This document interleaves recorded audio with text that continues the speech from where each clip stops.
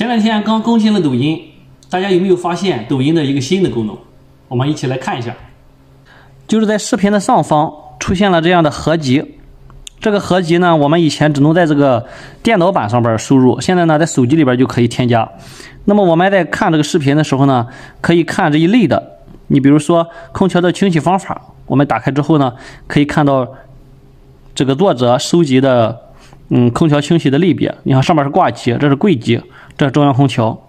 我们还可以收藏合集，这样我们在看的时候呢，非常的方便啊。我们刷到一个视频的时候呢，也可以这样看。比如刷到这个视频，我们看下边有一个水龙头维修漏水的这个合集，我们点一下，就可以看到，然后相关水龙头维修的这样的视频。啊，这个抖音真是越做越好啊，对这个大家的生活带来了很大的帮助。同时，这些功能呢也是越来越完善，真的是发自内心的感谢这样的一个绿色平台。